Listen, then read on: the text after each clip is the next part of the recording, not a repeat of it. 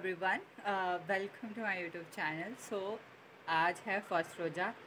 सो so, अभी मैं बताऊँगा कि आज हम इफ्तारी में क्या क्या कर रहे हैं. दीदी बना रहे हैं इफ्तारी. सो so, अभी मैं दीदी से भी मिलाता हूँ और फिर हम इफ्तारी भी करेंगे साथ में. सो लेट्स गो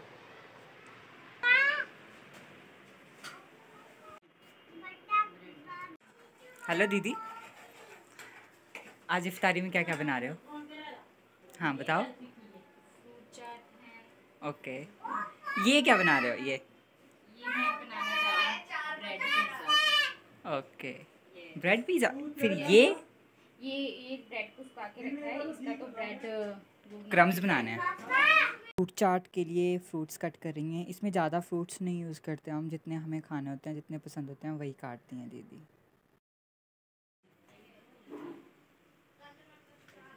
डेट्स कितनी कंपलसरी होती है ना? अगर दीदी ये वाली दाल ना बनाए तो मतलब रोज़ा अधूरा है।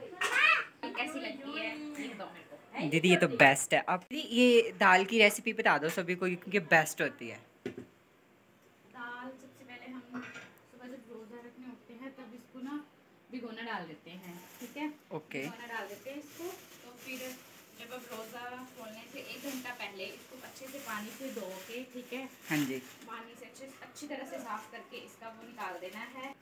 धो के अच्छे से पानी से इसको साफ़ करके फिर इसमें बारीक कटा हुआ प्याज हरी मिर्ची फिर चार पाँच नींबू का रस डाल के और इसमें नमक ऐड करके टेस्ट के अकॉर्डिंग तो इसको ऐड मिक्स कर लेना है अच्छे से।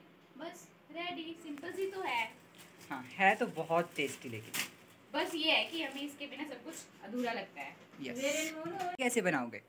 ये कुछ नहीं है जैसे ये मेरे पास सारा बैटर तैयार है ठीक है? अब इसको करके रेडी करके अब इसको इसके ऊपर स्प्रेड कर देना है ठीक है? ओके ओके ओके देखो।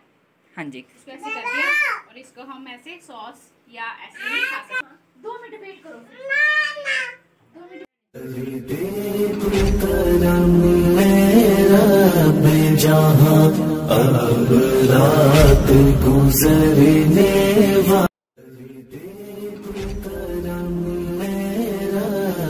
जहाँ अब रात गुजरने वाली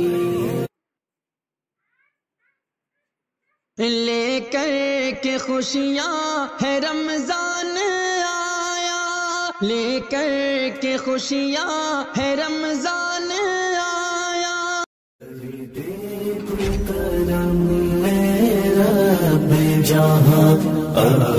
रात गुजरने वाली। सो अभी हो गई इफ्तारी और नमाज़ भी पढ़ लिया मगरिब की। सो so, ये था हमारा छोटा सा ब्लॉग इफ्तारी का कमेंट करके बताना अच्छा लगा। अगर और ऐसा ब्लॉग चाहिए इफ्तारी का सहरी का और तो हम और बनाएँगे। और स्टडी ब्लॉग करते रहेंगे। So thank you so much for watching it